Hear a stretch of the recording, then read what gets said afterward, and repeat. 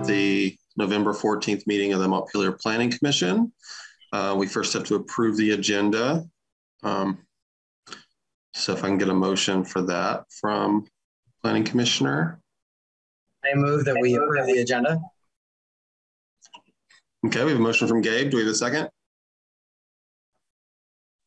I'll second. Oh, I'm going to take Ariane's second uh, as opposed to Aaron's burp. Um, and uh, so we have a motion from Gabe and a second from Ariane. Those in favor of approving the agenda say aye. Aye. Aye. Any opposed? Okay. Uh, okay, for tonight, we have a few things to go through. Um, next on the agenda is comments from the chair. Uh, the only thing we have, I don't want to hold things up because I know we have some visitors. Uh, the only thing we have uh, that's not on the agenda is there's a municipal planning grant um, application that we need to approve of, and I think I'll need to sign. Um, Mike has the details, so so Mike, why don't you explain uh, what's going on with that? Yes, we didn't have anybody who we didn't have any projects that were on our list for municipal planning grants, but the Public Works Department came over and said they had worked with uh, a company that does um, basically lidar imaging of the roadways. Uh, and they've done this for other communities and they've used municipal planning grant funds to help pay for it. Uh, we use it to offset some of our costs for our pavement quality index.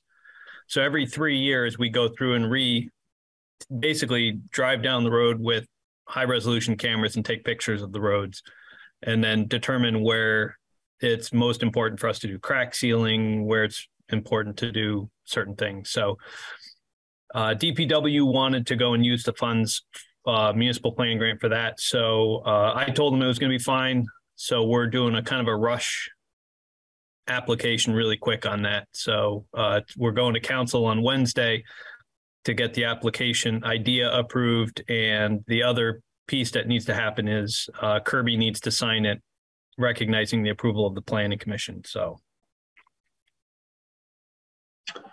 So is everyone okay with DPW using uh, this planning grant uh, for the roads? Yeah. Okay. Uh, let's vote then. Um, can we have a motion to uh, support Montpelier's application for the for a municipal resolution for a municipal planning grant? I so move. Okay. Do we have a second? second. Second from Ariane. Okay, those in those in favor of the motion, say aye. Aye. Aye. Okay, there we go. Um, just for the logistics, Mike, um, you want me to print it and sign it? What do you want me to do? Yeah, if you could just sign it and scan it and send it back to me, then I can have that to bring to council to have them sign it. Okay. Okay, I'll do that tonight or tomorrow. Um, all right, sounds good. Uh, so the next on the agenda is we have general business. I don't believe we have anyone here that's not on the agenda, but if anyone's here for any comments for something that's not on the agenda, now's the time. Okay, so not seeing any takers there. Uh, the next thing on the agenda is uh, um, an update about reappointments. Um, I'm aware of one person who's applied and um, is seeking to be approved by the city council. And um, not putting you on the spot at all, but but it's it's it's Brian Mills who's in the chat now. Um, so Brian and I met uh, last week. Um, he has a great background for what we need. Um, he's done lobbying with, among many things in his career. He's he's done lobbying with local governments.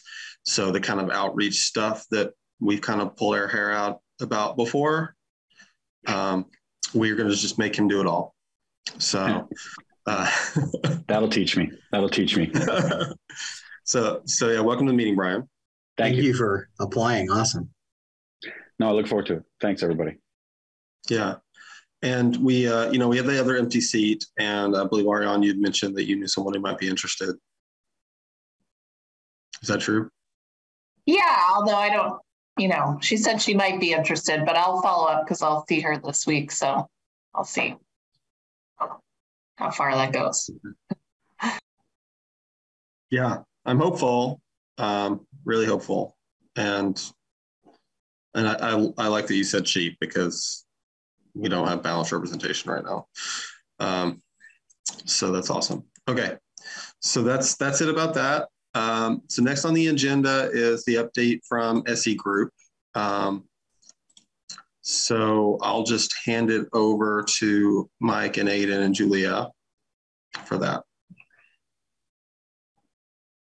Thank you. Thank you. Um, I am Aiden Eichhoff from SE Group. I see some familiar faces, but many more faces than our last um, Planning Commission meeting. So thank you all for being here. Um, I will hand it over to Julia to introduce herself and to give an update. Um, but from sort of a bigger picture side, um, we have incorporated Mike and Kirby's comments from the previous Planning Commission meeting. Thank you for sending those over. Um, we have an updated version of the historic resources chapter and a new version of the economic development chapter. Um, and Julia will kind of walk through sort of what decisions were made, what questions we have, um, and where we're at with our others. We do have some data requests out right now for um, economic development, energy, and housing. And some of that data is kind of trickling in um, but we'll be able to highlight a few places where we need more data, more photos, and we can kind of workshop that with the group about the best source um, or just kind of uh, hold our horses until Mike and the Regional Planning Commission can provide um, data and background for us. Um, Julia, go for it. Hi, everyone. I'm Julia. Uh, thank you for having us this evening. Um, I work with Aiden on the community planning team at SE Group, and um, we're excited to uh, share with you our progress on this project. So I believe this is the right screen that I'm sharing. Yes. Can everyone see my screen here? Great. Um, so as Aiden mentioned, um, we have the revised historic resources chapter, um, a new economic development chapter, and I also have the old draft of the historic resources chapter so we can just compare changes that way. That may be the easiest way to see the changes. Um, but just to give an overview of the major uh, changes from the initial draft from last time, um, we got some great feedback from Mike and Kirby um, that mostly related to um, you know, making sure that these story maps conform to the existing outlines um, for the plan chapters that you all have um, reviewed for, as part of the city plan. Um, so highlighting things like the relationship to other between this chapter and other chapters in the plan, um, and things like who is responsible for carrying this out in addition to city staff, who are the players involved. Um, so the basic outline that um, we're now working with, um, thanks to Mike's input, is we're sort of opening. I'll just scroll through um, as I talk about this outline, that we can look at it more more detail. Uh, we start with, um, you know, some uh, small bites is what we can call it here, just like little bursts of text that introduce um, a bit about what this uh, topic is about um, and provide any definitions that might be necessary. Um, and also provide sort of a visual context for the topic that we're talking about. So historic resources, we're, we're showing pictures of historic buildings here. Um, and then following that section, we move into background. Um, and this can be more of a map focused section, um, showing any relevant um, spatial data uh, that has been collected thus far or provides good context for the topic that we are um, reviewing in this story map. Um, so as an example here, we have the historic district shown. Um, then this is also an opportunity, uh, you know, just following this section to, or within this section to link to existing efforts uh, that have already taken place.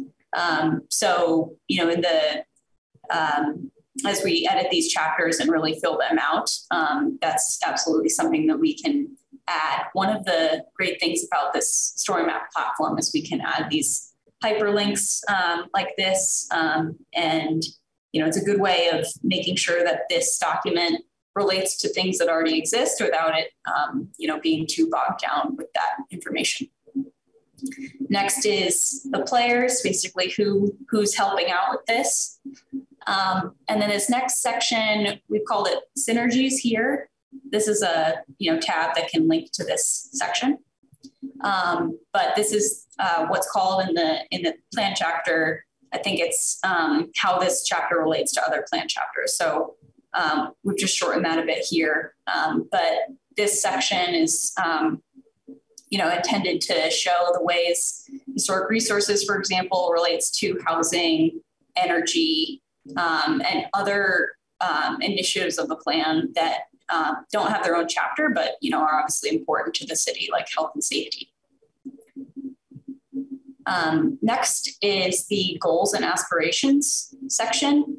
Um, we've presented this in two different ways in the historic resources and economic development uh, section. So it would be great to have your input on which um, version you prefer. Um, but this uh, summarizes, you know, the intentions that are laid out in the at the end of each plan section, um, and then finally, there's a link to um, implementation. And I think this is, you know, uh, remains to be seen how we will um, incorporate implementation here. I think we're um, sort of waiting on um, you know feedback on on the rest of the uh, document here, and um, it'll be an ongoing conversation. I think with the city, uh, with Mike, to figure out what are the things that the city would like to show in terms of progress um, on the plan implementation, and you know what is um, ongoing updates to this section at the end here look like. Um, so that was a really fast overview of the uh, basic outline uh, for this. I'll also just scroll through the economic development uh, one so you can get an idea of how it looks for that chapter. And then we can uh, look at either chapter uh, or both chapters uh, at a slower pace and more in more detail. Um, so got a similar map there. So here's economic development. And I want to say I used uh, all these photos from Montpelier Alive. So before this would be launched publicly, we'd need to get permission for those. But, um, you know, these are really high quality photos of Montpelier. And I think they show how important it is to have, um, you know, those really awesome shots of the place and definitely, you know, the people enjoying the place. So um, I'll just scroll through here, um, not at a pace where we could read anything, but just to you know, get a sense of, of what this is looking like.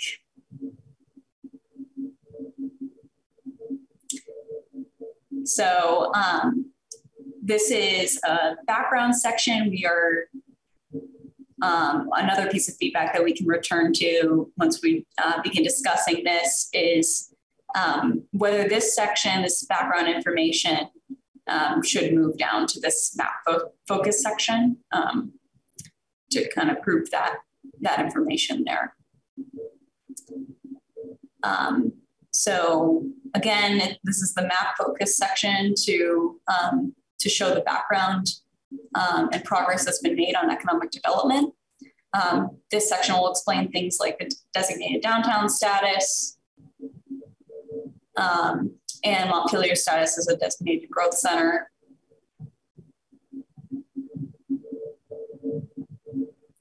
The players, and we've got synergies again. In this version, we've incorporated a couple images that relate to the different chapters. So those being transportation and historic resources. And then this is the goals and aspirations section. So instead of, um, you know, this uh, center justified um, text section, um, this is a more image focused version of this. So it'd be great to hear which version you prefer. Um, I think, you know, the advantage here is this is a bit more engaging, uh, visually appealing to look at, um, but it does involve more scrolling on the left. Um, so following this goals and aspirations section, um, I've also identified some just additional strategies. These are things that are mentioned in the chapter that you know don't fall under that goals and strategies section, um, but they are you know things that are mentioned in the chapter that the city would like to work on and grow. Um, so I've, I've included them here. I think they could go in a different spot as well, maybe implementation. Um, but I thought they were important to include as well. And then, as we mentioned before, um, implementation comes at the end, and this is something that the city will be able to um, update in time um, to show progress on the plan. Um, so that was a lot of scrolling. I know that wasn't enough time to, to read through things.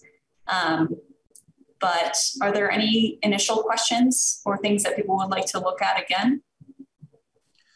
Uh, well, yeah, thank you so much, Julia. This this is actually really wonderful. Um, it, it's a great first impression. Um, so yeah, planning commissioners, do you have any uh, anything you want to look at again or any initial feedback here?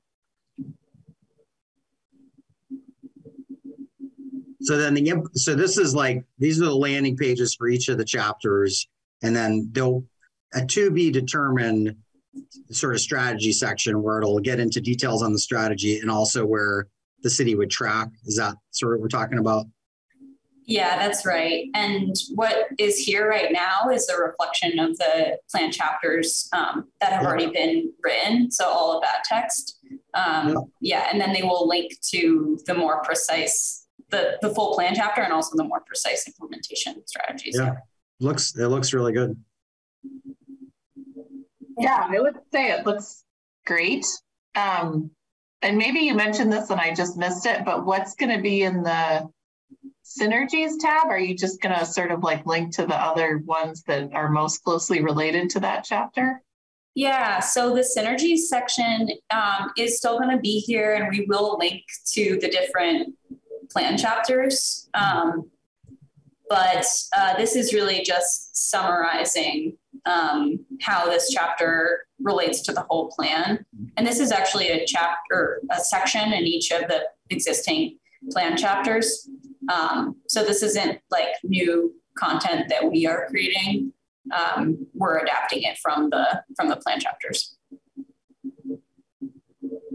Yeah. So so yeah. To clarify there, Ariane, it um, you remember how we had in each chapter we have a, a, section on how does this relate to the other chapters. Yeah. Apparently, um, I, I totally forgot that. So thanks for reminding me. Well, we, I mean, we were talking about what words to use for that when it comes to the web-based plan, and um, synergies was one of the ones we threw out there. Um, so it looks like, um, did uh, what's the feedback from SE Group, and what's your feedback for for how things are coming together? I mean, is synergies a good word? Is what are your thoughts about the amount of text? Because I know our chapters have a lot of text. Is that are we losing people by having that much? I mean, like, what are your opinions?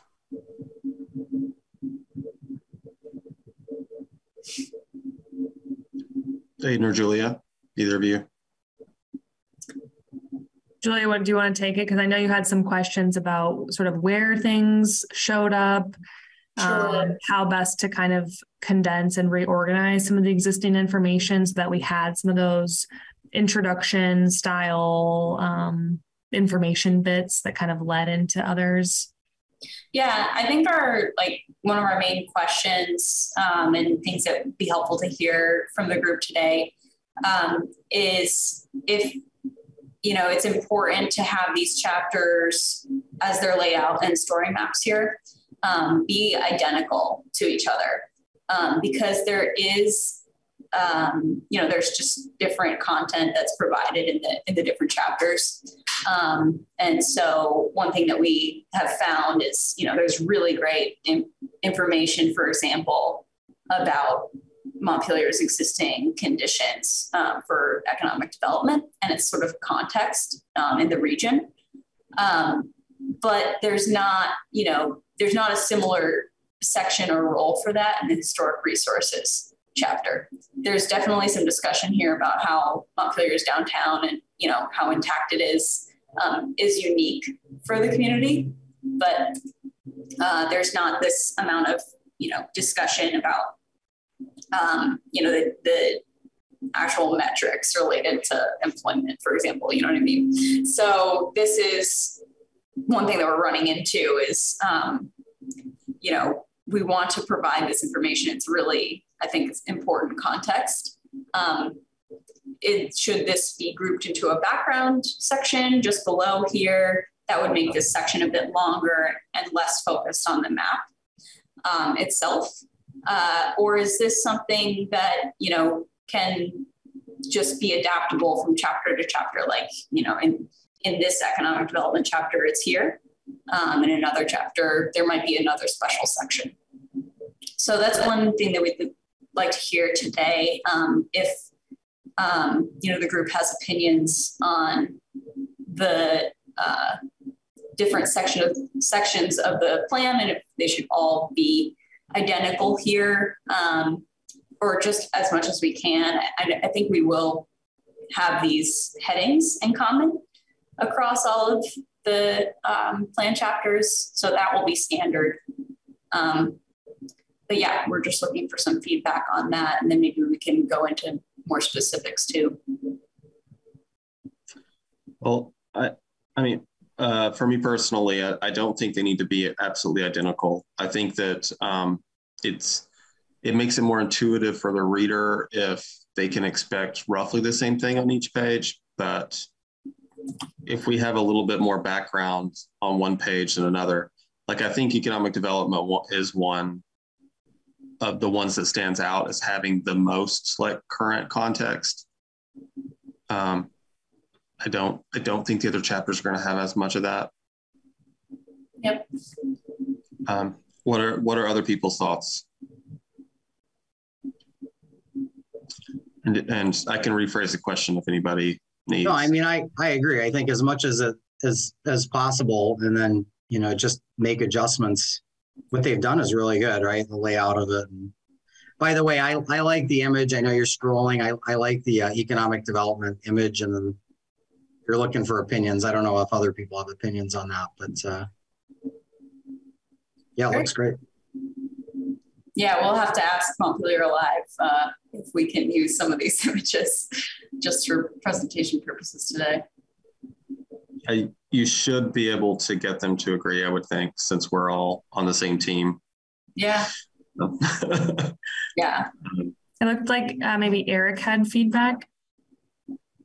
Yeah, this is Eric Gilbertson. I'm chair of the Historic Preservation Commission, and we're applying for a grant from the state certified local government program this year to identify in a broad and general way the historic resources in Montpelier possible districts, uh, those that are on the register, uh, so that there's a, a, a summary of you know what is historic in the community because I think it says somewhere in this that you know all the historic resources have not been identified.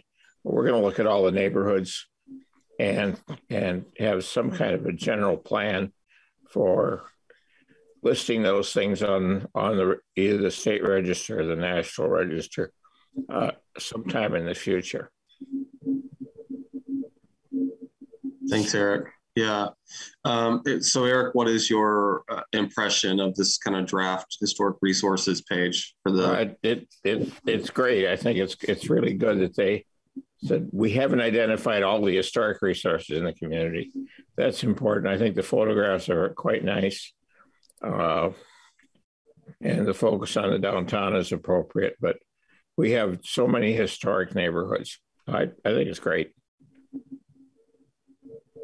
Um, to to your point, Eric, there is um, Julia. If you scroll down, maybe like two more maps. I think there was some missing data in the data request about the location of historic resources and historic structures. Um, so if there is more information out there, that would be great to see. But also, if there, it's good for us to know that there is a planning process to look at, you know, the character of historic neighborhoods and to kind of identify those. But if that does become a um, a GIS data product, we can absolutely add it to this story map, and I think it would really help paint the picture. I mean, we're a couple of years out with that, but I'll look at. Okay. Uh, I, th- I think we probably have data on what's listed one way or another. It's very haphazard in Montpelier. What's actually listed and what is historic. So. Okay. Yeah, that information would be great to show here. I think you know the intention with this map, um, as we're you know just scrolling through it here, is to show um, spatial information that's available for historic resources at a couple different scales. Um, yeah, like one of the advantages to story maps is the ability for this map to zoom in and show different layers at different, um, you know, levels of, of zoom here, different scales. So, you know, here's the downtown historic district. Then here's the Capitol complex area. Um, and then with this layer, as Aiden mentioned, we we're hoping to get some data on available historic resources in this area. And I think, you know, the purpose of this is not to show that everything's been, you know, evaluated and it's done because as this chapter points out, there's still um, some assessment that needs to happen. But, uh, you know, if we could show um, just even a sample of some of the known historic resources, I think that would be helpful here. I will work with Meredith particularly on that. Uh, and I mean, we're looking at things like the Meadow, which is kind of an obvious historic district, along with College Street, and there's a bunch of other ones. Yeah. But we won't we won't really have that information nailed down for a year or two. Okay. Meredith, Meredith, jump in. Oh, you're on mute. um, so just to to build on what Eric's saying, I mean, there is for the individual buildings, the city doesn't have a GIS layer to get those buildings that were listed individually outside of the Montpelier downtown district. Um, you know, there's a few we know of um, that we can throw in there. Um, but it it may not be at the GIS level, right? So I'm not quite sure how you would pull that into your data, but we'll we'll work on some maps. We can definitely pull in the, you know, the state has the GIS boundaries for the state districts and the meadow, um, and then down at Granite Shed Lane. So we can point you to where that data layer is. Um, they're not individual buildings; they're neighborhoods, but we can pull together some stuff. I think that would help. Great, thank you. Mm-hmm. So out of out of curiosity, um, where where's SE Group pulling the map data so far, like for the things you do have? Yeah, so it has mostly been um, from the city. We have been submitting data requests um, for any information that we might need, and that includes photos as well. Um, and then there will be a couple of instances, I'm sure, where we're um, supplementing with state um, information. I think I uh, did pull from VCGI on um, this map uh, of the yes of um, the growth center designated growth center. And, and are you are you aware that you know the we have a planning commissioner who's missing John who works closely with that in his day job? Are you aware? We, we have been getting some information from the RPC, but I don't know what John's specific day job is. Um, it's, it's the um, well, I mean, he he he works for the state doing doing the mapping you're talking about. Okay. Great. We and Kirby, you might know this from our our contract, but we do have some money set aside in each phase for essentially like new mapping sort of content creation from from data layers that don't exist. So if we do find that we really want to be able to show something spatially and there isn't a current mapping product that shows that, that could fall into that category if we see that that is important and there's information to support that. But just for this group's knowledge, that um, there is some money in the budget sort of set aside for things like that that may not currently exist, but we want to show here. Okay. I, I think Mike and John would be the two that have the most informed opinions about that. Perfect. Thank you so you much. Yeah. Speaking of Mike, um, Mike, do you have any feedback or impressions? Uh, yeah, I guess the one thing I was going to mention was regarding the question of the additional data and things looking slightly different between pages. Um, I think, as everyone said, I think having the some of the general head headers that are the same throughout are are helpful. Um, I think what I would focus on and and commissioners, I, I did send you guys a copy of kind of my notes before I sent them to SE Group on what I was thinking, which was to focus, make sure we focus on what is the story we're trying to tell. I mean, these are storyboards. Um, we have a limited amount of landscape, and we really want, you know, if we just kind of ramble through it, it's, it, you know, people aren't going to get as much out of it. So we really wanted to try to focus, like in the historic resources, what were the messages we were trying to get across.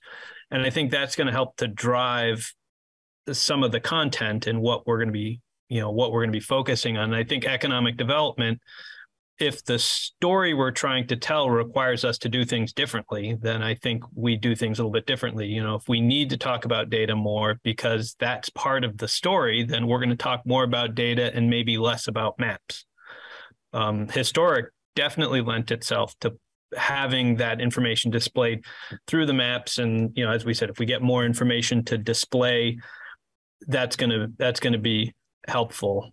Um, so i think that's where i would go. I, I, might put what you guys had put for economic development in the in the background.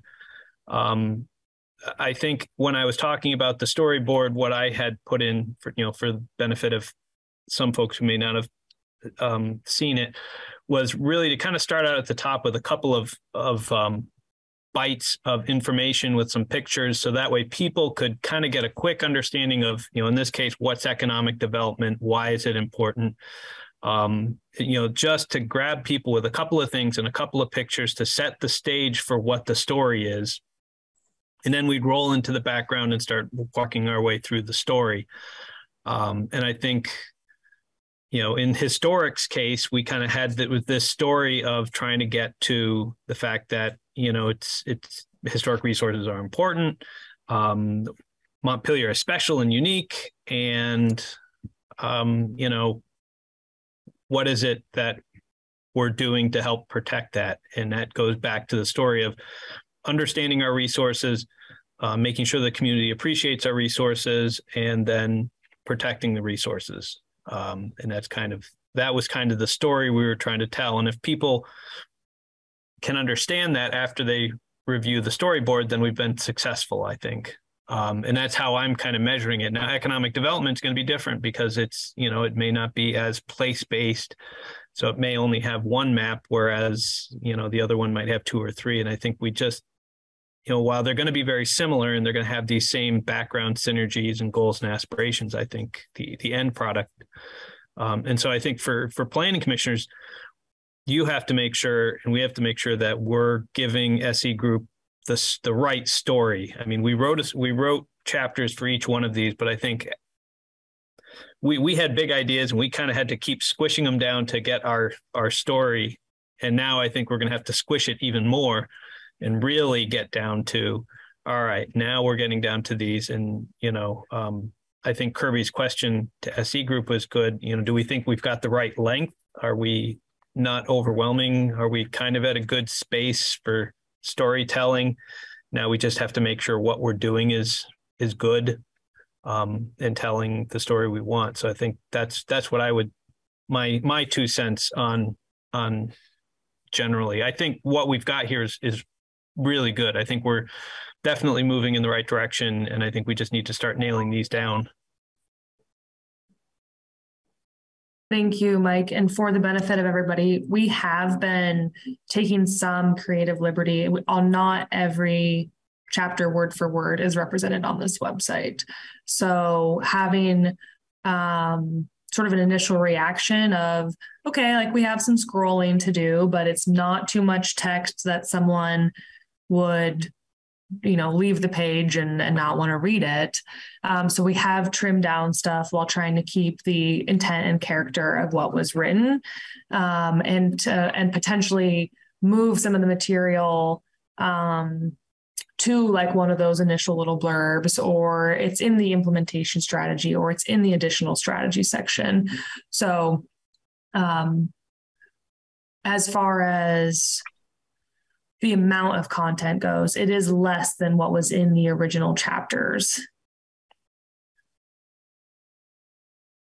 So I, I, am interpreting what you're saying is that you think it's at a pretty good place in these examples.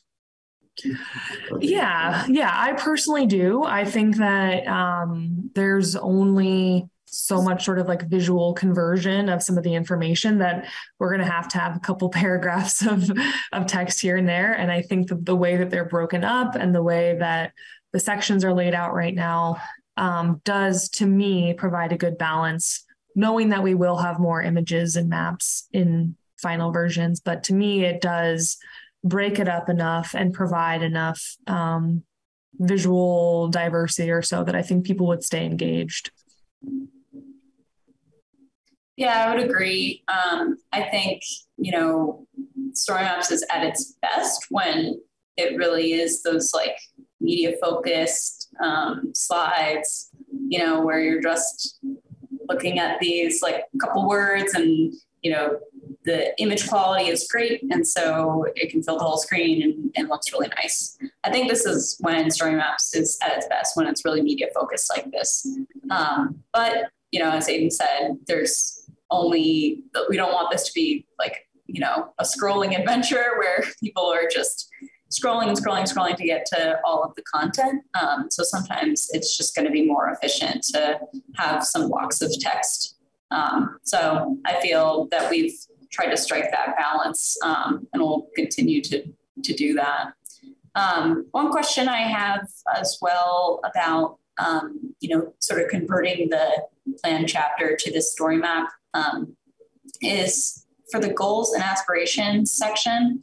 Um, there's, I feel there's storytelling that's happening in the story map, and then there's also just, you know, trying to draw out um, some of the high points and like uh, takeaways for people.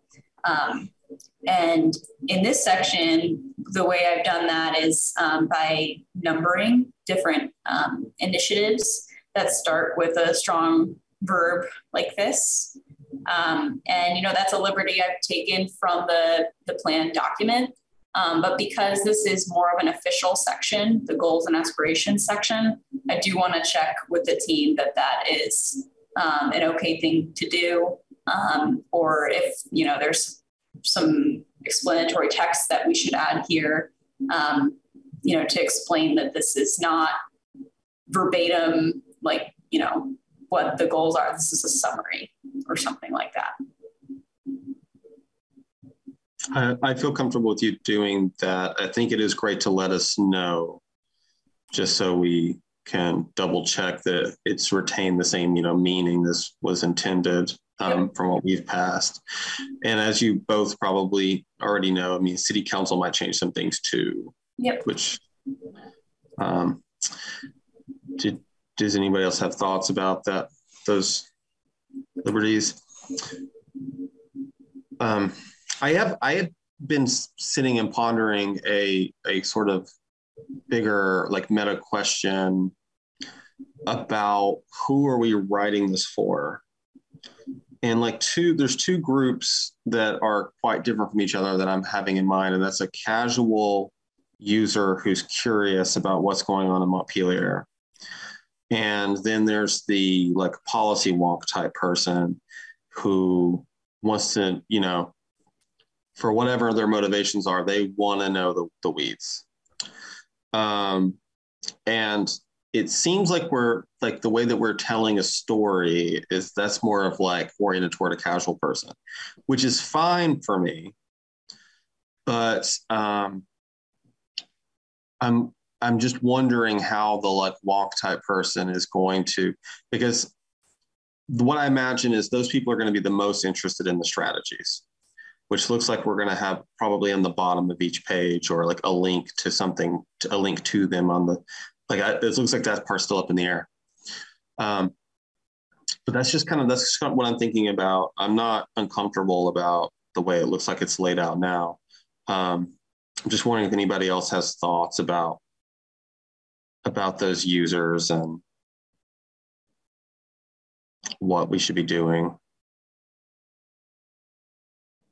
One suggestion I have for that is in the hub site um, that will eventually, um, you know, house these different story maps. Uh, we can add a page to that that would uh, describe, you know, different intended audiences for these story maps and how they might like to review them. Um, so that wouldn't, you know, necessarily appear on individual pages here, but it could be a resource for people who are visiting um, the hub site, and that's probably, you know, where they'll access these at the beginning. Kirby, I think it's a, a great question, and I uh, I think in many other projects that question is asked much later. So thank you for bringing it up now. Um, my understanding is that we're framing this as you see it, and I think you identified it correctly, that this is trying to go towards the general population who may have some sort of interest. Um, I think the use of the links and the yeah the external links and external as you said like if you're more interested in strategies go to this page um, i think that's really where we can leverage it to kind of play to all audiences and that we will have links to past planning documents. People will understand who the players are involved. Um, and then you can get into the nitty gritty a little bit more if you follow it, but it will take someone who is more committed to visit those links and to kind of follow those threads. So if if this group is okay with it being a little harder to access the full full picture, like people will have to put a little bit more effort into it, then I think I think we can continue in the direction of having this more general population, but still not losing the information that um, a policy wonk would be more uh, in search of. Yeah. Uh, so so yeah, what I'm thinking while you're while you're saying that is, um, someone mentioned uh, like like the hub page that you start from.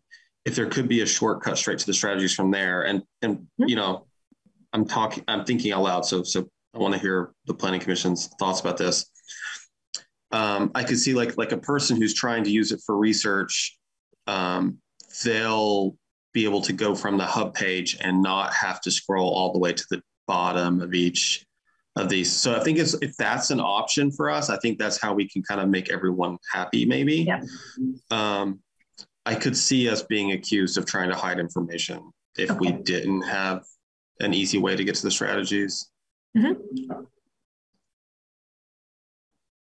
Yeah, I was going to say, I expect the implementation strategies will be its own page. It's just going to look very different than the rest of these chapters.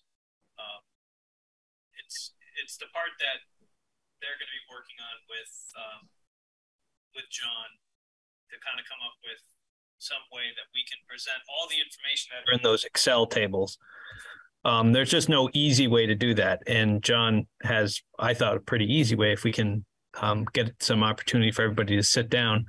Um, but I think if we have, as they said, and as you said, you know, a, a direct way for people to understand that, you know, from that main um, kickoff page, that those strategies, whether it's somebody who's putting together an Act 250 application or somebody who's, for whatever reason, really wants to know what is the city going to do about affordable housing, that they know that the detailed policy section is over there. And that's really where um, staff um, you know, your as you said, the policy wonks and committees. Uh, you know, I would I would expect and hope that over time the housing or, or the historic um, preservation commission would be looking at the historic plan that's in in the city plan to go and get ideas for their next set of projects. Um, so that's that's how I expect it to get laid out. But the chapters itself, like we're looking at on the screen, those are expected to be us putting information out, us us helping the public understand historic resources and why it's important and what we're doing about it.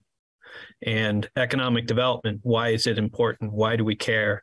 Um, what are our goals and what are we doing about it? Just so people can kind of get a, a general sense um, that like you said, if they're policy wonks and they get to the bottom and they're like, you know, I really want to, you know, understand more, then they can click that thing and they end up over in the implementations um, page where they can, you know, and we're not sure how that would appear. They could get that complete list or they can be able to scroll through or be able to search it. You know, I'm not sure exactly how it all comes together, but there'd be all the information that's in our Excel tables would then be accessible um, to people who want to be able to navigate that.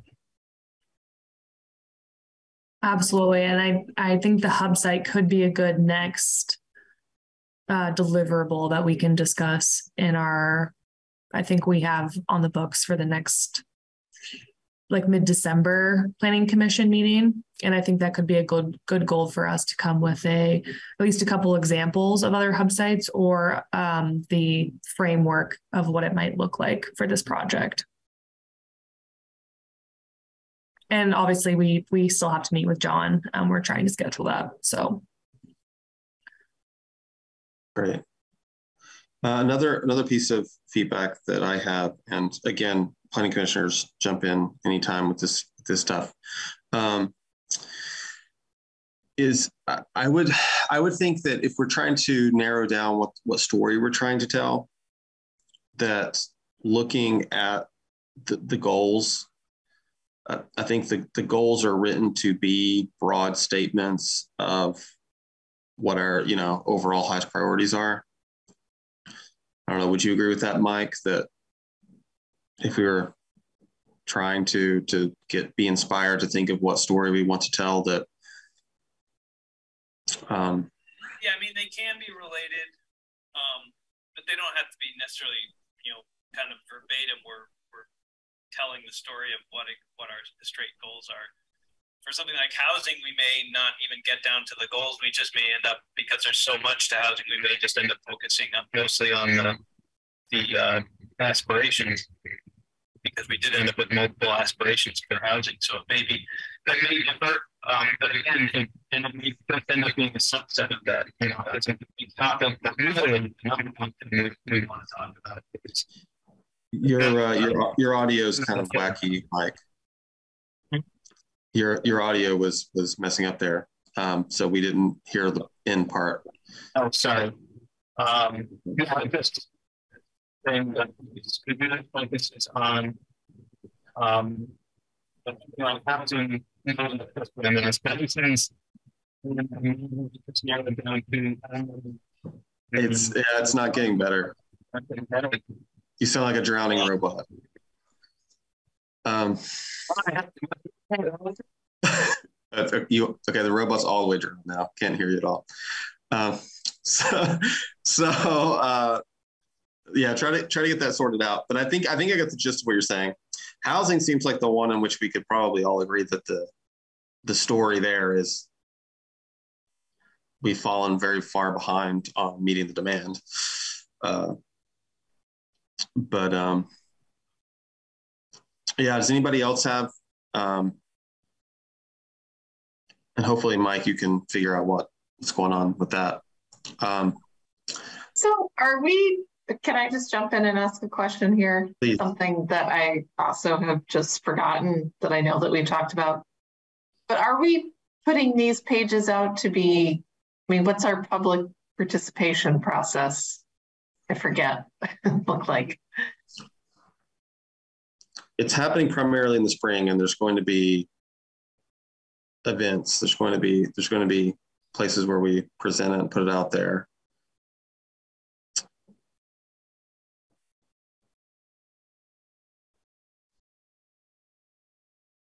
Did you um, did you have more questions like along those lines?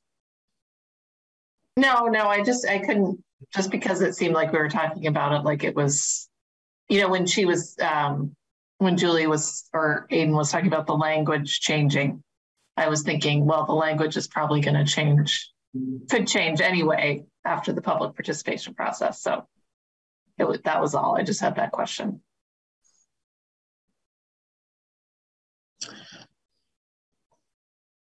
Yeah, I'm I'm imagining the way that I mean um, the way the process is working so far. What I'm imagining is sometime in the late spring, as a planning commission, we may have to go down and like like when it's starting to get kind of near final form before we send it to city council. Maybe that's when we sit down and make sure that we still agree with the substance. I'm thinking that we'll probably have to do that. Um, or I mean, maybe we'll do it informally where like people just do it on their own and when we meet and bring ideas, but a sort of uh, the words escaping me, but a but um, yeah, a meeting where we're making sure that that that it's all come together the way we want.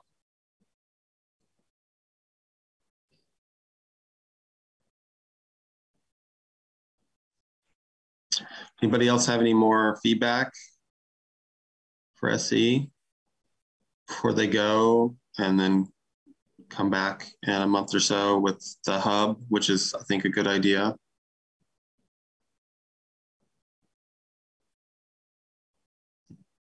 Okay, last call for comments before we move on, on the agenda. Well, Julie and Aiden, I would really like to express appreciation for what you're doing. Um, it's I can tell that that you've put a lot of work into making the different parts of it go together. Um, so we're seeing that um, and Thank you. impressed. Yeah. Thank you, thank you. We will make sure to send those links along um, so they can be included in any wrap up or notes email that goes to the planning commission after this call. Um, and we are absolutely open with, for feedback at any time, especially when the group has a little bit more time to scroll through and and read. Um, but thank you all for the discussion this evening. Um, and we will be communicating absolutely with Mike and John between the between now and the next meeting and with anybody else if they have feedback. So thank you, thank you. Thank you. Good evening. Bye. All right. So next on our agenda is um, follow up to the presentation uh, presentation from last time about the uh, Historic Preservation Commission's design review guide. Uh, that's why Meredith and Eric are here. Um, other than just you know, this is the place to hang out on a Monday. Um, Well, I, I would just say, Kirby, I, I, I- you know, it was excellent. I had time to read through it. Very well done. And if others agree, I would make a motion that we move forward. That's to go to the city council next, I think. Really quick. Okay. Were you hoping to um, before we before we take up the um, motion to pass it? Were you hoping to cover anything, Meredith? Is there any like loose ends? No, I'm I'm here in case somebody had questions or concerns about any of it. Um, just in case we wanted to make sure that we were here in case somebody had questions about the drafting process or any you know particular items. Okay. Um, Thanks. I, I'm just here for the, say, answer any questions or any explanations anybody needs. And the same for me also. Great, great. Welcome. Um, okay, before I address Gabe's uh, motion, just want to um, kind of informally see if there's any informal questions or anything first from Aaron or Ariane. I'm good. I've, I've been good. It was it's it was great work, great document. You know, and I would just say as somebody who's, you know, tries to do work in this area, like to walk in, there's so much ambiguity, ambiguity sometimes in our uh, regulations to have examples and to be able to drill in and really look at that stuff and get some ideas, even though it's not handcuffing anybody, but it just gives you some thoughts, right, to start looking at. Really, really powerful, very helpful. Awesome. That that's the whole purpose. So I'm glad it's doing what it's supposed to. Uh, thanks. We wanted a broader to address a broader audience, just those that are uh, in the regulatory process. Yeah, I think you guys knocked it out of the park. Yeah, for sure. Um, okay, well, uh, Gabe has moved that we uh, uh, um, recommend to City Council that um, it adopt. I, is is it an adoption process? Is that what is that what it needs to do? It's sort of a blessing, right? It's a policy document, so it's not an adoption of regulations. You don't have to follow that strict um, public hearing process, but we really didn't want to put it out as something that would be um, used by the public or the design review committee or referenced in the regulations. Um, because there's actually there's a place in the design review regulations that references guidance documents. So once everybody has blessed that this can be used, we'll then be able to next time the zoning regulations get changed, put that little reference in there as here's the name of the document. That'll be later. Okay. So, uh, Gabe, you moved to just recommend that city council. I don't want to use the word bless. That's, that's yeah. I mean, it could be adopt as policy instead of adopt as regulations, right? It's adopt as policy, maybe. Sure, sure. So we recommend the city council adopt the um, this guidance document um, as policy guidance. Sound good, Gabe? Does that does that capture what you were moving for? Okay. Uh, do we have a second? A second. I hate to uh, hate to disappoint those of you who showed up to the meeting hoping to field questions, but I echo it. Great, it was great work. Very, it's a really instructive document. Really thought it was good work. Yeah. And we had a good presentation last week, so not surprised at the lack of questions. Okay, is there any discussion for the motion? We have a first and a second. Okay, so those in favor of uh, Gabe's recommendation, recommendation uh, or, or motion to recommend, say aye. Aye. Aye. Aye. Any opposed?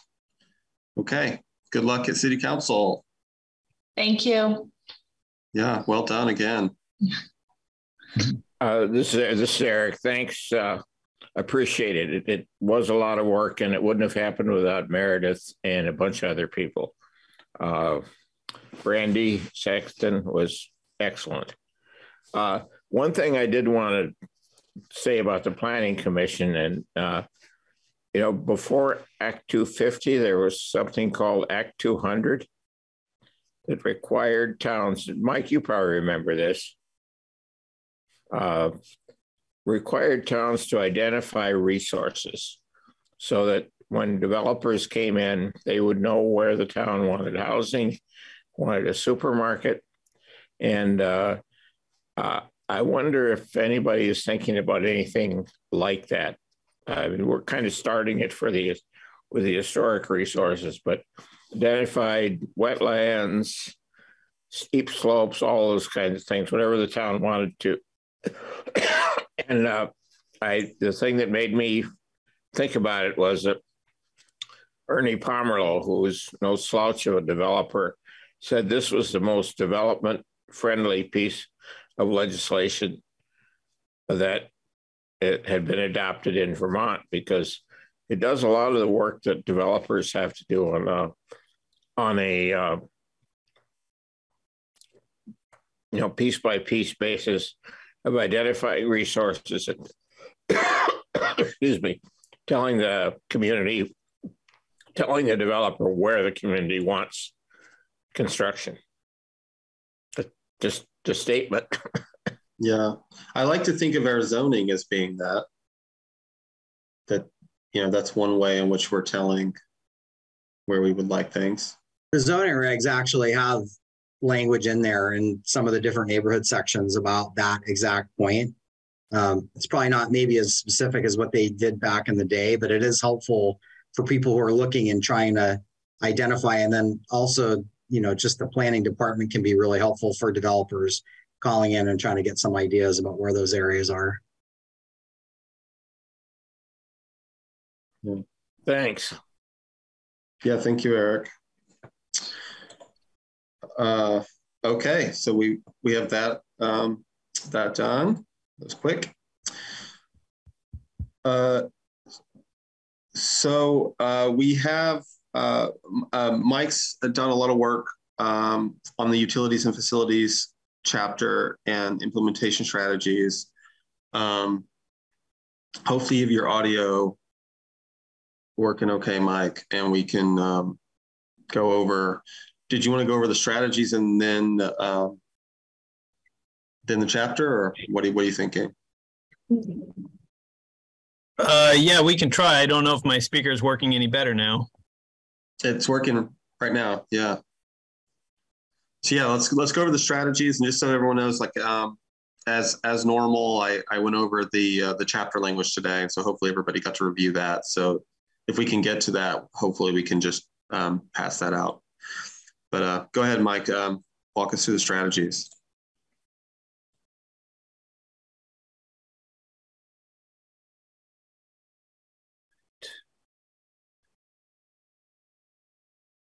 I can do this here.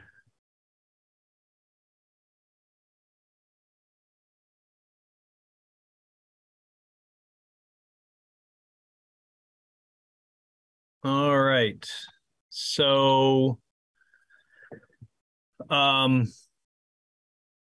the utilities and facilities chapter is really looking at, you know, uh, a handful of things. Utilities we're looking at the four public utilities, or we have three, and we're creating a fourth. So the the Montpelier utilities are water, wastewater, stormwater, which they're creating right now, and district heat. So we have four utilities right now. Um, and then there are also private utilities like your electricity, communications, wireless communications, and those those types of things.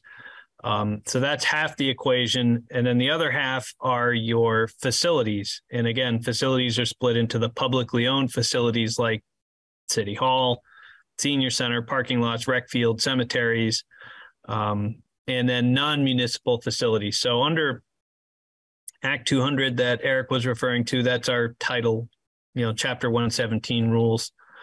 Um, we're required to talk about certain non-municipal facilities such as schools, libraries, hospitals, and waste management facilities. So we're, required to talk about those. So what I did, you know, looking at the aspiration is really kind of broken into four big aspirations. There's a lot we've got to we have to talk about. So it, we're kind of stuck squeezing it into four. Uh, I know if John was here, he'd be disappointed that we've got so many aspirations, but I really couldn't find out any other way of doing it. Um, and so, with respect to the four public utilities, what we really talk about, are, I mean, it's really kind of common sense. You know, we want to provide quality service. We need a steady state plan for maintenance. Um, we need to accomplish everything at an affordable rate for customers um, while keeping enterprise funds healthy. So, um, you know, there's just some basic pieces. I don't know if everyone had a chance to kind of look through these um, in detail, but most of this is kind of pretty straightforward. Um, you see it in our zoning regulations, city public facilities uh, sufficient to meet current and future demands will be maintained and efficient, net zero where appropriate. Um, the private utilities we don't do as much with, but we're still required to have goals um, about them. So private utilities are universally available and where appropriate meet net zero objectives and that's mostly ties into the electricity for net zero. Um, and a lot of these for Montpelier are pretty straightforward. It's not a big deal. You know, we talk about electricity, communications, and telecommunications. Montpelier, we've got universal everything. Uh, you live in Montpelier, you've got multiple broadband opportunities. You've got um, multiple cell tower opportunities. You know, this same exact goal in, you know, I live in Hardwick. In Hardwick is, you know, um, you know, part of town has broadband, part of town has wireless telecommunications. Um, you know, I can get a cell call at my house, but I walk 50 feet to my barn and I can't get a cell call. So, um, you know, that's that's Hardwick. That doesn't happen here in Montpelier. So it's our goal, but it's a pretty straightforward one because we pretty much meet everything already. Um, and then the non-municipal facilities, usually the biggest one that comes up is the capacity of schools to accommodate additional growth, which isn't an issue. But again, um, under chapter 117, we have to talk about these things. So that's why we do. Um, so that's the four aspirations. And if people are good with that, I'll make a quick jump to goals. And this is where Uh, John. well, Yep. Before we before we jump to goals, um, I will um, summon the spirit of John Adams, our John Adams, not the president, um, and say, uh, we we might be able to to make it. Uh, we I mean we we could possibly do one one that's one that's utilities and one that's facilities, like like I don't want to waste a bunch of time on it. It's not a huge battle for me, but like A and D seem like they could possibly be combined. I understand that there's a huge difference in what we're going to do about A and D because one's inside the city city's control and the other's not. But I don't know. I would just say if we wanted to step back with it, um, Yeah, we could combine A and B. I was just trying to keep things from getting too long and, and clunky between the two. Um, and that was really the only reason for for splitting those out. Um, so anyway, that's I just I just thought I'd mention that if if if there was interest in, in it, um, but we we can keep it at four for now as well. Yeah, I think there's possibly room for combining C and D. A and B, I think, would be tough. No, no, I was I was thinking A and D A and D. because they're both they both cover. Um, well, I guess actually D does go more to facilities, so maybe D and B. It's just bringing utilities things together and bringing facilities things together as an as, as aspirations, and then have the goals separate them back out. That's all. Yep. Yeah, and we can see how the goals and strategies play out. And sometimes if if all the same strategies to implement B are the same strategies as implementing D, then it might make sense to pull them together. Um, if they use different strategies, then it might make sense to keep the aspirations separate. But we'll see as we get down there where where it all ended up.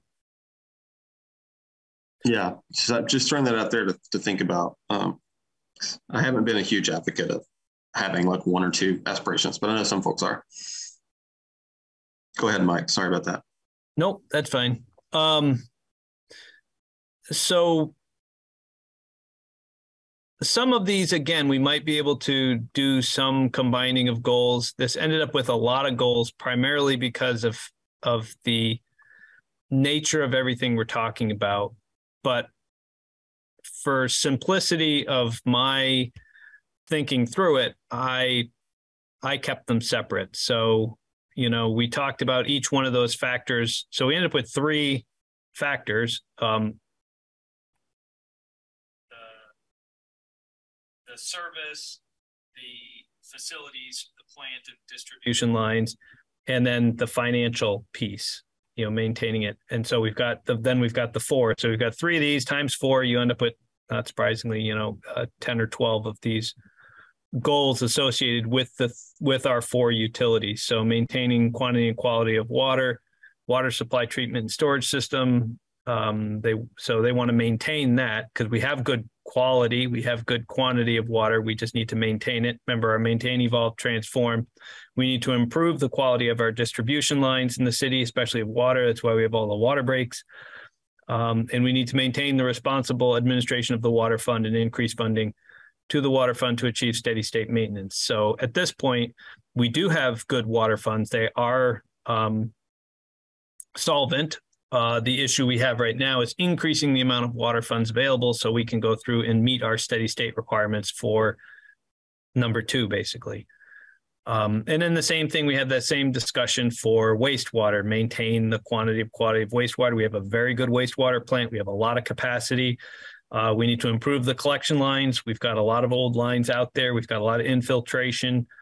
Um, and then we need to maintain responsible funds because we are doing a good job maintaining our funds. We just might need some additional funds to achieve steady state. Um, so those are pretty consistent. So we might be able to, you know, you can see how these all ended up the same. We might be able to combine one, two, three with four, five, six. Um, but I didn't just for discussion's sake. Um, when it comes to stormwater, that's the one we are creating a stormwater utility. We don't have it yet. Um, in this case, we do need to improve the quality and quantity of our stormwater treatment. We don't do um, we don't meet the level that we would want to for our stormwater treatment. We have our CSOs, our combined sewers, uh, that pollutes the river. We've got a lot of um, stormwater that is untreated that goes straight into the river. So we do have improvements there we need. We need to also improve the collection lines, separate CSOs. Um, and we need to improve the administration of it because we don't actually have the utility. We're still creating it. So stormwater will probably need to stay as its own thing because it has its own unique goals and levels. Um, and then the heat heat system, because our district heat system is it is a utility, it's also brand new. So everything is maintained, maintained, maintained because everything is in great shape. We just have to, um, other than the district heat fund, which it needs more money. Other than the funding, um, it's in good shape. Um, facilities, the goals for B, you can see there are only two. Ensure facilities are sufficient to meet current and future demands and maintain and where necessary improve the condition of all facilities. Um, so one is about the capacity and one is about the condition. Um, and we separated those just because our goals for for maintaining that are going to be different than the goals for um, the facilities. And again, um, we're over here to private utilities where we've got Green Mountain Power, and then down to D where we were talking about those schools and libraries and stuff. We've got goals to balance residential development with our schools. So we basically have one goal for schools, one goal for libraries, one goal for medical, the medical center and other health related, and one goal for the um, solid waste management district. So we're required to talk about these four. So we have again, could we compress these into one? We probably could. Um, because I was just wrote walking through, that's what I did. I, I put them that way. Uh, Gabe? in the uh, in the narrative there's there's some language that talks about the excess capacity we have um, for uh, sewer and water i didn't see anything about schools but i've heard you talk about it before could we add something in the narrative component to that Yes, I don't. I'll have to go and see. We've got the chapter written, so we'll just have to see if we we have that conversation in there. But we should. I I hope we would because that's a lot of what I think the story to tell when we come to writing the utilities chapter is we have um, we have the ability to grow. I think that's that's the take home message from utilities. Pe- people can disagree with it from philosophical reasons or for um, whatever uh, reasons that they want, but it's not because we can't handle additional growth. Montpelier has en- enough water to double its population, enough sewer to double its population. We have water, we've got facilities that can meet our needs. So we are we are in great shape to grow. Um, yeah, and if there's another chapter, maybe it's just a quick blurb, and then in the you know, when SE Group's writing it, it's a link to that chapter. But it was really apparent that, you know, the utilities are there. That's the thing that people are always going to say. And it's, well, no, we have capacity in the schools. Yeah. Yeah. And what they're talking about is, uh, yeah, what SE Group just did was the chapter part. That's, and that should have our story is we can grow. We've got our utilities, we've got our facilities, we can grow. So, um, then the strategies so this one ended up with we ended up with more goals than we had strategies so there are 14 of them Uh, I'm not going to read through all of these. You're more than welcome to to take the time to, but um, the one set of strategies looking at continuing our utility planning, and this applies to all four. Um, and it talks about a list of all the things that they are doing currently for utility planning. Um, a second strategy is our CIP, our capital improvement program. This is how we buy things and fix things. So it's talking about uh, continuing it and making notes of the things that we need to, you know, of note upgrades to water lines to accommodate new fire hydrant codes and those types of things. So, um, utility and infrastructure incentive program. This goes to um, some of the economic development ties. So we have, um, for example, we did this with um, Caledonia Spirits, who would not have been able to develop without um, improvements to the water line, which we made. Um, and we hadn't, and we used economic development funds. The city paid for the improvements to the water line, not at, um, not Caledonia Spirits. We made those investments in order to facilitate that happening. The reason we did that was because they were going to buy so much water that we were going to be able to pay ourselves back on additional water revenues to pay back the money we used to fix the water line for them. So there was, you know, we had, you just need to have the money up front to be able to loan to yourself, basically, and then pay yourself back into that loan program. So we have an RLF, we loaned ourselves money and we're paying ourselves back for that loan. So that way that money will be available to the next time we need to do an infrastructure improvement. So we do have this program in place and it has been done before. Um, unified development regulations. So this is our zoning rules. Um, utilities and facilities come up a lot when you talk about conditional uses.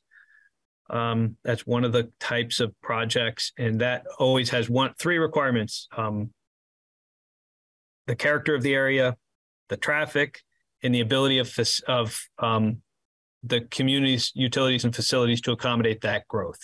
So, um, if something's a conditional use, it ties directly into this chapter. Um, and usually, what you want to have in this chapter is that we don't have any um, barriers, and therefore, everybody automatically probably meets that unless it's a really, really big project. Um, and then we get into some of these other projects, the roof drain separation.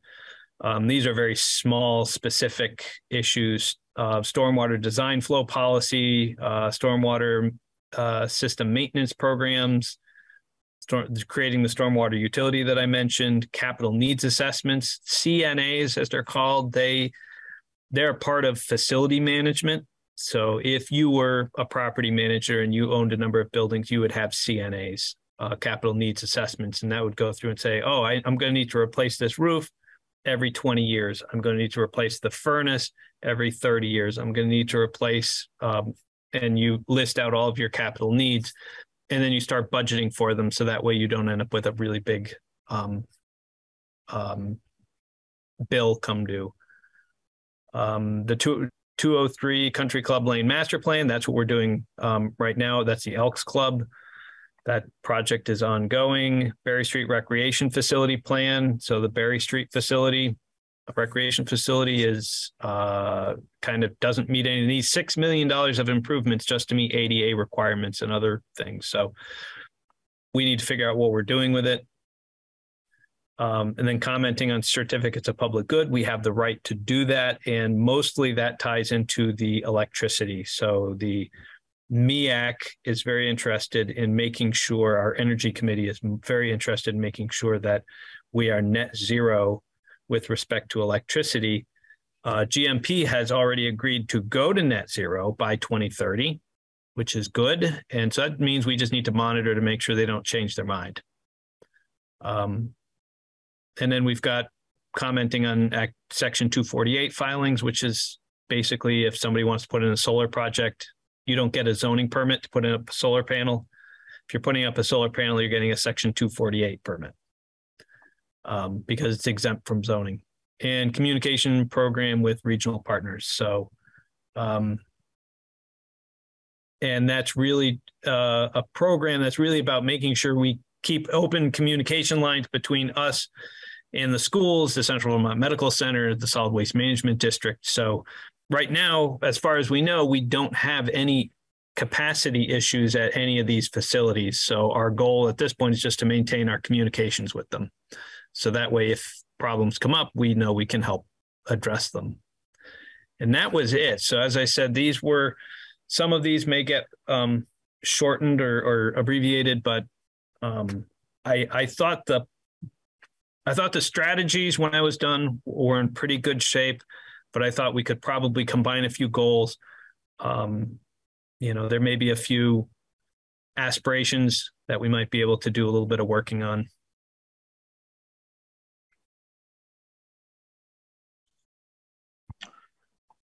Uh, yeah, I'd be in favor of combining some aspirations and goals. I think. I think that the um, strategies are are great. Does it, does anyone have any feedback or questions?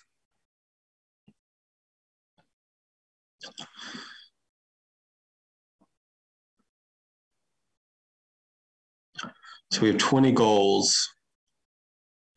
How many strategies did we have? There are only 14. Yeah, that seems like, you know. Yeah, like, like I said, that, it was but... mostly to tie in to make sure we have that individual look at each one of the pieces, like maintaining this, improving this, maintaining this. If we don't break it into the pieces to first go through and say, all right, how does water look? It's this, this, and this. How does wastewater look? It's this, this, this. And so you kind of walk all the pieces out. And then when you're done, if there are so many of them that are similar, we can start combining them. But if we combine them too early, then we haven't really taken the time to think about them separately. So that was why I did it the way I did. Would it be okay that like like it's it's obviously you know we want to think about it separately but would it be okay just for the purposes of listing listing them to put them back together?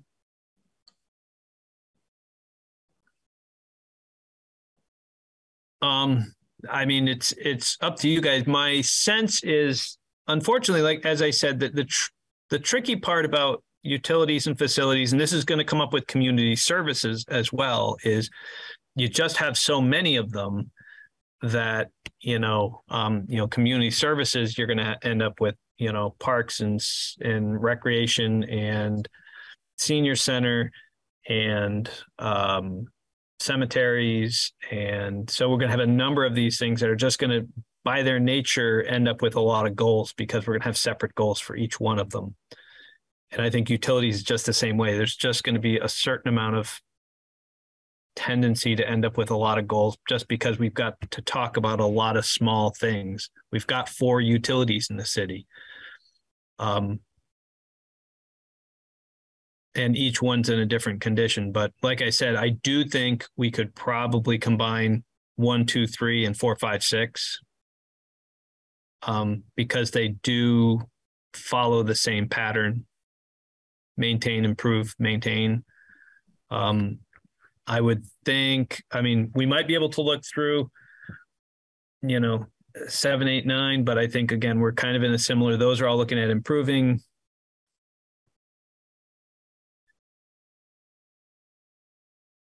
So I don't know. I mean, I'm welcome if you're welcome to take it back, and if you guys want to just go and look at it between now and the next meeting, we can do that too, and kind of think about it and come up with. A uh, yeah, I, am th- I'm thinking a, a couple of ways. We could just we could give you some general feedback and vote it out. Um, you know, right, we could say, you know, do your best to combine some things and then vote it out, um, which would be fine with me. All right, I'll let you guys talk just for a quick second. Okay. I mean, so I yeah, just my... look at like all the maintain things. You know, can can that we're, we're going to maintain all of these things, and then you got some that are looking forward to uh, things that we need to improve. I, I'm just I'm seeing a lot of like we can just use an Oxford comma for if we're going to try to make like um, you know if we have three things that say the same thing, why, why not just put the I'll lump all the utilities together in the same goal if it's saying the same thing. Um, I mean, this seems My- this seems pretty this seems pretty reminiscent of how it was at the outset for the earlier chapters, where we would have a pretty robust list of uh, goals and strategies, and Mike would then we just give it to Mike, and he would kind of collapse it down into some more, I guess, pithy approaches to the language. I mean, it seems like that can happen here. So, I mean, either we can kind of collapse these things down, or we can let Mike do it. But I, I mean, I remember in the past we would sort of let Mike do it. So Yeah. I mean, that's the reason why, the only reason I'm even hung up on this really is that in the past we, we did that. So let's, you know, make it consistent. I'm also just seeing the SE group stuff and the way that they're laying it out there. Um, I'd hate to see them list 20 goals in the way that they've been doing it that are all very similar. I don't know. I think seeing it on the website is what actually is scary to me at this point. It's like, oh, okay, now I can see why it's not great to have too much. Ariane, did you have any ideas? No, I think, yeah, that's a good point about collapsing to make it the website more usable and interesting. But I don't have anything other than that. Okay. So Mike, we're just we're thinking of um yeah, just like leaving it to you um to try to combine some of it. It seems like everyone's in favor of like combining if possible. Um and Aaron was pointing out how, you know, you've done that for you had done that for others goals and strategies in the past. So um I think we're all comfortable with that. yeah, I mean, I think the list is good right now. I mean, I think Mike's right. There's a lot of we just have to make sure that we're thinking through all the nuances between the different utilities and different types of facilities. And I think this list does that. We could either we can do it or Mike can do it, but I think there's ways to whittle this down, you know, to make it more seamless. But um, I mean, I think for now the, the list is good. We can we can work out the language later. Okay. So uh, sounds like um, uh, can we get a motion to approve um, the uh, aspirations, goals, and strategies for the utilities and facilities chapter um, with the uh, direction to Mike to try to uh, combine some of them to to reduce the number, the overall number. But that's a long motion, but there it is. Well, do we, do we want to have Mike or someone else take a stab at sort of whittling it down before we vote it out, or do you just want to do it now? Yeah, it's up to you guys whether you um, how much. I mean, if we if we don't vote now, then we definitely will have to put this on the agenda again and go through it again.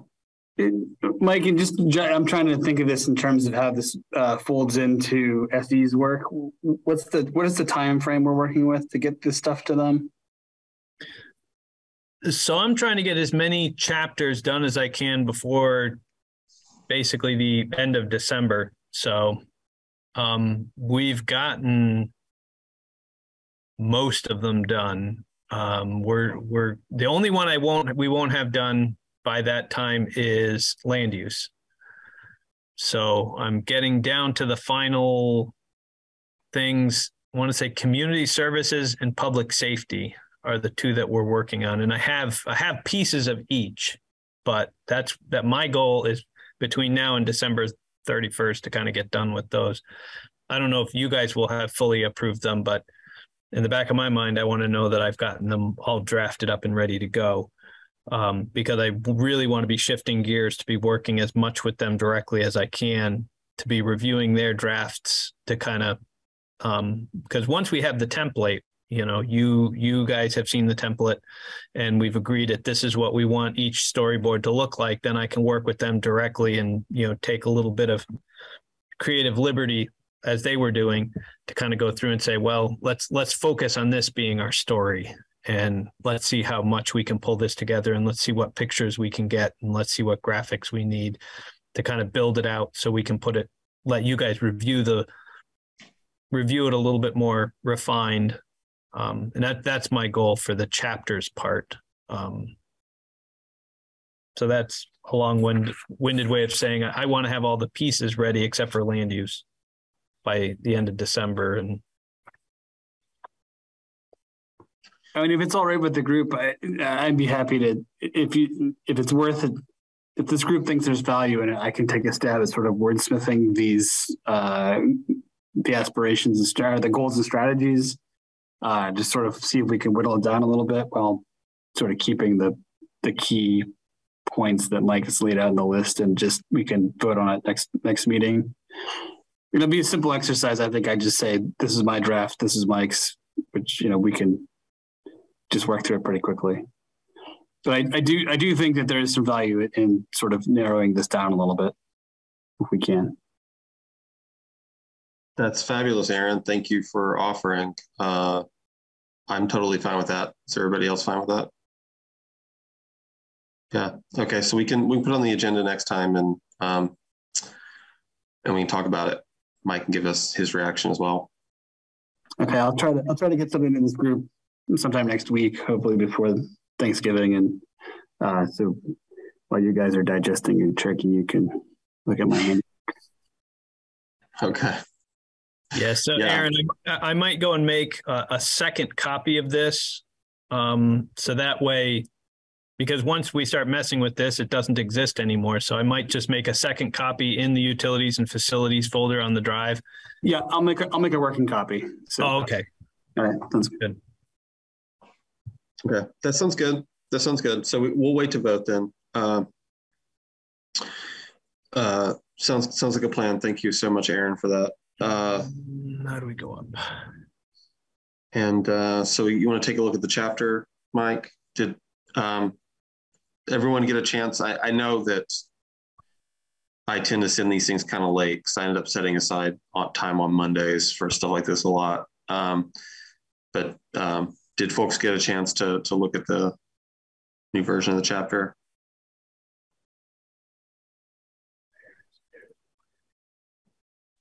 I just had a, I just was able to take a quick skim of it before the meeting, so I haven't really looked at it with a fine comb, unfortunately. Well, that could be another thing where people can, if you if we want to, if we're going to take up the the other thing later, we can we can also just wait to vote on this as well. Um,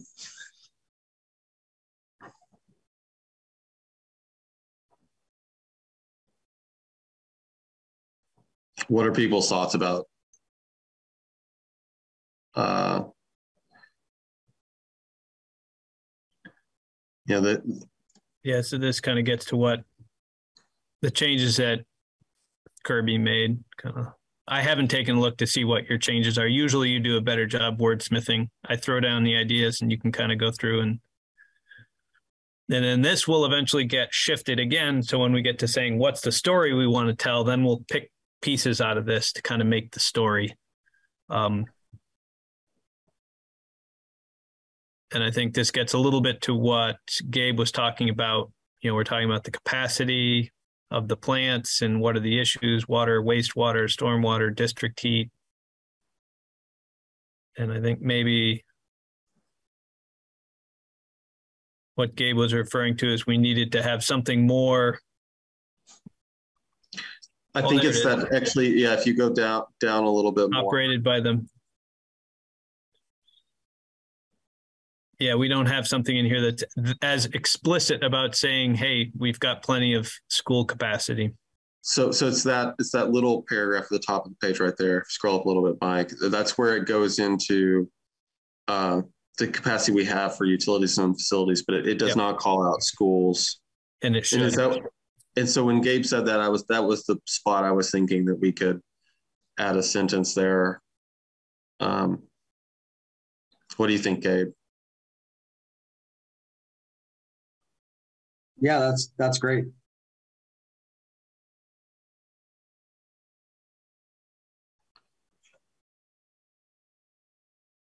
I think most of these kind of make sense through here. I didn't fill this out, but I don't think we necessarily need to at this point, knowing how things have, how our format has changed for our storyboards. I might not spend the time building these out. Um, aspirations and goals, yes, but we haven't been doing implementation approaches, so there's no sense building that one out. Um, okay. Well, we can, uh, everybody just, you know, take take time before our next meeting to give it a look over, we'll say, and we'll just uh, plan to pass both the things out next time.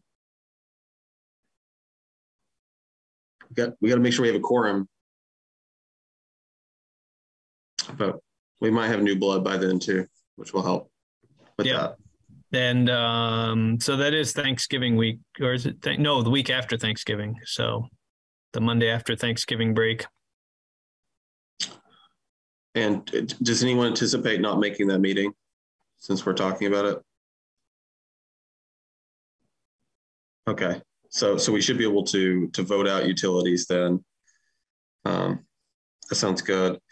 Uh, the or did we have arts? We did have arts and culture. So I took another look at the arts and culture chapter today, it's it's pretty short as is, but you know we could we could pull more info from the uh, arts and culture ma- or the, um, the public art master plan if we want to. I just didn't feel a need to until SE takes a crack at it. Actually, personally, I, I think that there's enough stuff for them to pull it out. I just we don't. I just don't feel like we we don't need long chapters.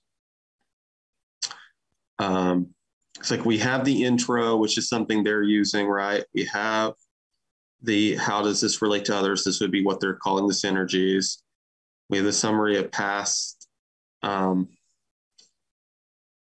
are there any of those big section headers that's missing?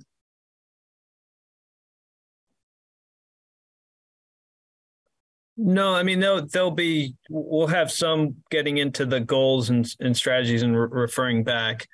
Um, I think what we'd have to just figure out, like I said, with arts and culture is, you know, what's the story we want to tell, and then kind of pulling this together to to just to to tell that story.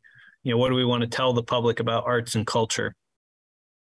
And then that'll help us to finish filling this out. Because we just wrote the chapters not having any idea how this was going to be used. And now we're starting to get an idea of how it's being used. So you know, we might just partially skip the step of writing all this stuff out. You know, I think how arts and culture relate to other chapters we still should do because synergies is pretty much grabbing this stuff. Um, but the introduction we might need to fill out a little bit more. There might need to be more information. What what's the story we want to tell? Um,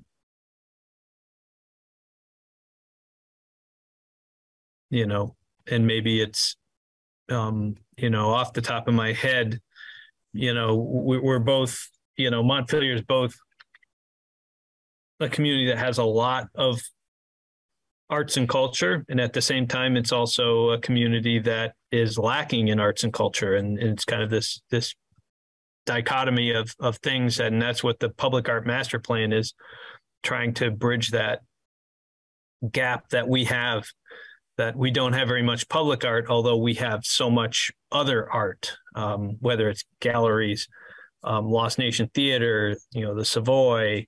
Um, you know, you could just tick off all of these things, but they're not, you know, very few of them or none of them are really public art um, in the classic sense. And so, what the public art master plan is trying to do is to kind of balance, you know, and I think the story we're trying to tell is there's a lot of great and there's a lot of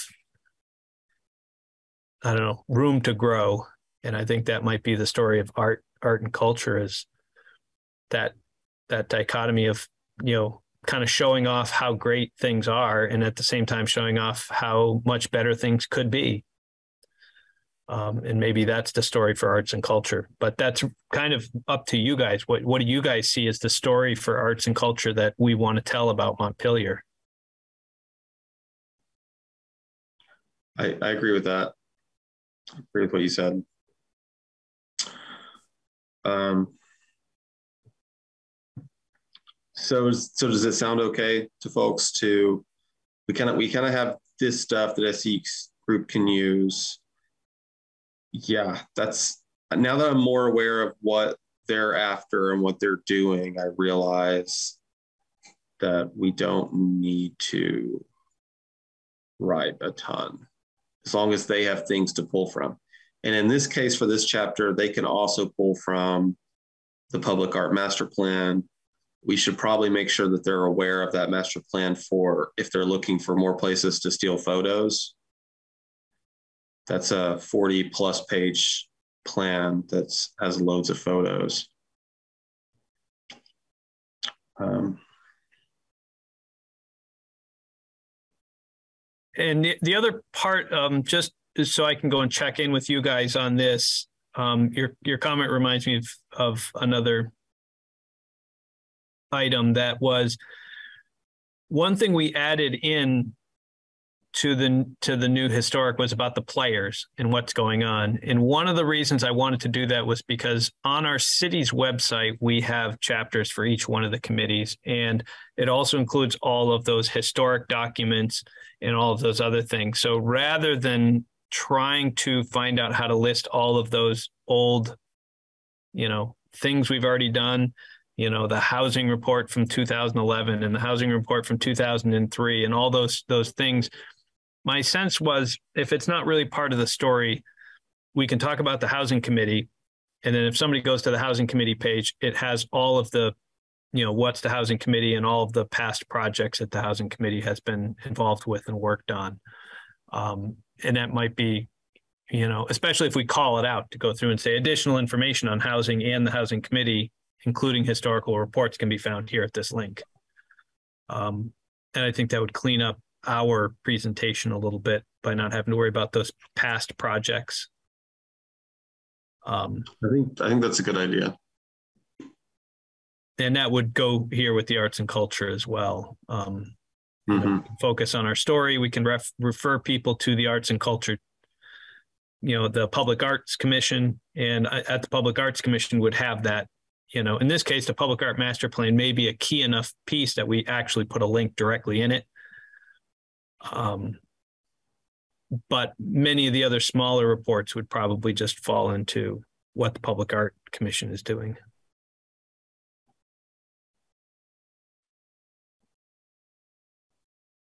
So stop sharing here.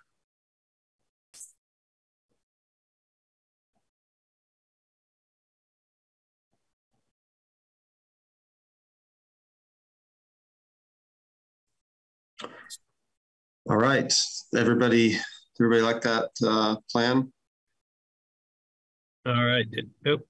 Okay. I was going to say we'll have to. I was going to say grab Aaron's vote before he goes to to adjourn, but he's already left. Okay. Well, we'll just have to adjourn in a more of a um, yeah, we don't have minutes, so that's why we can't vote on the minutes. So as soon as we're wrapped up here, we're adjourning. Um, yeah, no minutes. Let's adjourn. We just lost Aaron. That was his can I Irish just vote. can I just ask one one question here? Yeah. And if people don't want to hang out, that's fine. You know, the uh, like the the larger i know we got to get this planned on but the larger conversations like we had that uh the, the pushback on changing the density you know requirements. Um what what's the process of having broader conversations about our zoning and how we can remove some of the barriers that could exist you know to create more housing? Like how does that how does that happen? Like do you just say because it seems like okay we're getting people to come in and say we want changes and therefore you consider it if it makes sense then you're proposing these zoning changes. But how do we have a more holistic conversation about why are we doing any of these things? Let's just tear this stuff down and allow people particularly we just you know the policy we've got some great policy that exists in terms of you know what design might look like. I mean when do we have those conversations I mean, we can have them when whenever. Um, part of it, you know, as I said, you know, my goal is to to kind of get the the city plan pushing forward, and as it moves out of your plate, you guys then have the you know the world is your oyster because you'll have you know zoning is finally updated and your city plan would finally be often getting updated, and so then you can tackle these individual projects. But um, wanting to address this, you know, at the same time, we can certainly do it. Um, and it's just up to you guys to go through and say, hey, we want to hold a public hearing and get public input, and we start to work with our communications folks to get stuff out on, you know, you know, in the same way that the the Elks Club, the Country Club Road project is, you know, having a concerted effort of doing public outreach. And so if the planning commission was like, you know what, we really want to have this conversation and it's important, um, then we kind of push that. We we push out a series of, you know, public outreach and public comment sessions to start to to have that conversation. I think that's how. Kirby, you can just make a note. I mean, I'm sure it was on your list of things to do after we get through the plan that we have to get updated, right? But you know what we what we saw in the last one. I know you're already were making efforts like how do we communicate some of this stuff, but basically we had all the like this is going to ruin the world people that showed up, and we didn't have any housing advocates show up. And so how you know like just thinking through okay what is it that we want to do? What are the arguments? I mean as I, I've just been here, you know, maybe a year or something, but the more that I read, the more that I study, I mean, it's very clear. It's like it, it's discriminatory. The kind, you know, zoning and the, the rules that we have keep people out, right? That's what we're doing when we don't, and we're not having people showing up to hearings talking about that. So there needs to be some communication, right? We need to do a better job communicating. We need to get some advocates there. But just just so you know, Kirby, that's one of the things I'd like whenever we have time to talk about it, rather than just, hey, somebody wants to do something over here, so let's talk about amending this. I I think we should yeah. have that more holistic discussion. Yeah. So so let me tell you the the plan that's in my mind. Um,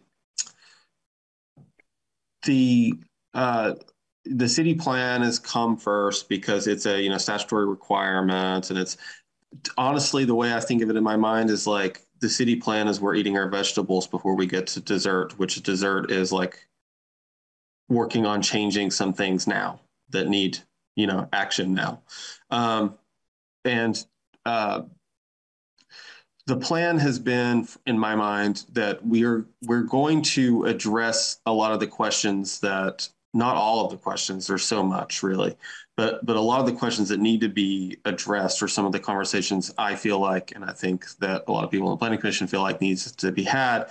We're going to address those things when we take up the congress for new urbanism report and we're going to take that up and we're going to address it and we're going to address all of the things that that cnu pointed out.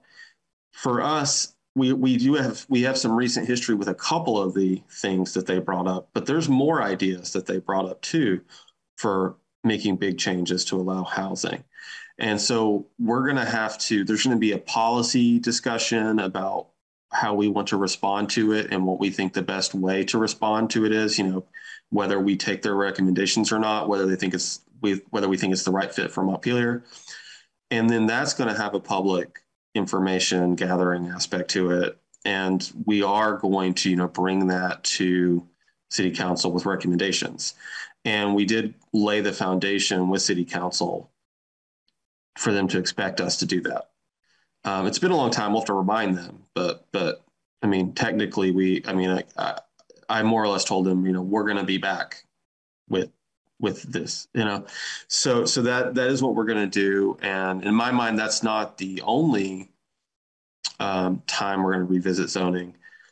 Enough, as you've seen so far a few times a year mike and staff collect things that happen in real time and then we respond to zoning. We tinker with zoning for responding to those things. And sometimes that's an opportunity when we're opening that up to also have these conversations. So that stuff, that stuff sounds coming. like a great plan, Kirby. I just, I just, yeah. you know, just wanted to say, hey, it'd be good to get back to that when we can after we get this stuff done that we need to do for Mike. Uh, I was also thinking of since since since the CNU issues that the, you know the recommendations from them they didn't touch on the solar shading. Uh, I was thinking we might tackle that first because it's a smaller bite, but that's flexible. You know, that's our decision whether we want to go go back to city council on solar shading first, or if we want to handle the the CNU stuff, which which has to do with density and, and other things. Um, but yeah, we're gonna we're gonna revisit that um, when we, uh, as Mike was saying, we have the land use plan, or the land use chapter, which is going to be work for us. The rest of these chapters we have to work on are not. They're it's it's stuff like we saw tonight, which is utilities and facilities, and that's just pretty straightforward and non-controversial stuff. So, but the land use plan is going to take work from us, so that that's going to probably take some precedence um, over jumping fully into the CNU.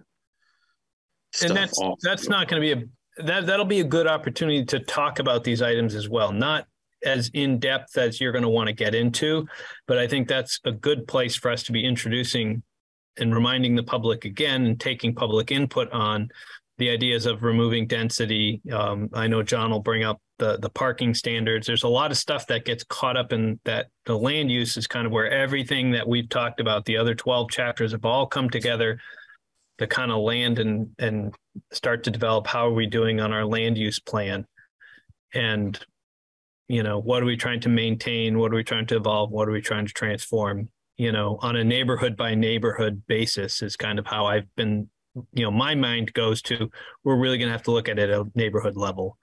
And that's going to help us make a decision on you know on density you know we, we want to maintain the character of the neighborhood but it doesn't mean we want to maintain the number of dwelling units. Um, you know really that those are shouldn't be related at all. The the only thing that really matters is is the design piece. And if we can kind of introduce that in our land use because periodically what happens is we'll get to city council and uh, the attorneys start to show up and they start to go through and say yeah but this isn't in your city plan you really need to go and implement you got really need to update your city plan first before you should be updating the zoning regulations to do the things that you want to do and they're not wrong so because we're so close we might as well hit the land use chapter hard and hit it right and talk about all the things we want to do so that way the next time we make a proposal that's they don't have that card to play anymore. You know, we can say, yeah, nope, no. we talked about this with our land use plan. Sounds and, sounds like a good plan. And and Brian, with your communications background, we certainly hope you get to join in here because there'll be a lot of communication that needs to get done. So anyway, thanks. Sorry for slowing everything down. I, I see people are dropping off. I didn't want to hog up some time, but I just I want to get back to that when we can. Yeah. Okay. Um, yeah, we don't have we don't have a, a quorum to adjourn, but um, we're going to adjourn.